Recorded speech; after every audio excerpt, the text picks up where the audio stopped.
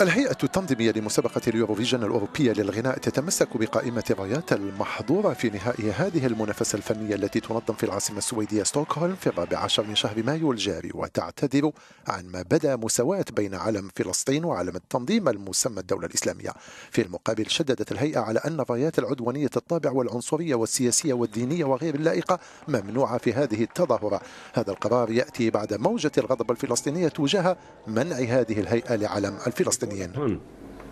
جان بول نحن ندعو جان بول فيليبو إلى التراجع عن قراره فورا والاعتذار لأحد عشر مليون فلسطيني عن هذا الخطأ الخطير وغير المقبول والوضيع.